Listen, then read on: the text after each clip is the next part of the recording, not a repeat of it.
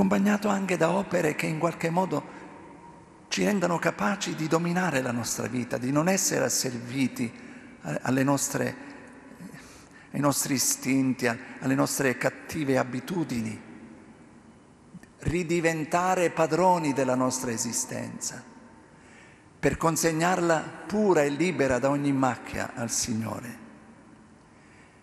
E allora abbiamo bisogno talvolta non solo di questa attenzione costante, ma anche di saper rinunziare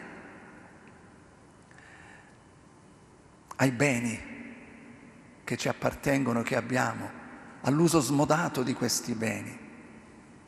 E lo facciamo per essere padroni della nostra vita, ma questo diventa anche una particolare attenzione, un motivo significativo perché quello di cui ci priviamo il di più che noi abbiamo vada a quelli che hanno meno, sì che il meno si in qualche modo si equipara a, a noi.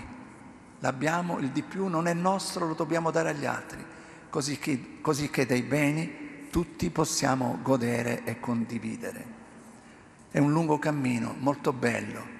Ci lasceremo guidare ogni giorno dalla parola del Signore che ci indicherà, giorno per giorno, quello che deve essere questo itinerario, tempo di grazia, tempo favorevole, tempo di un inedito passaggio di Dio nella nostra vita.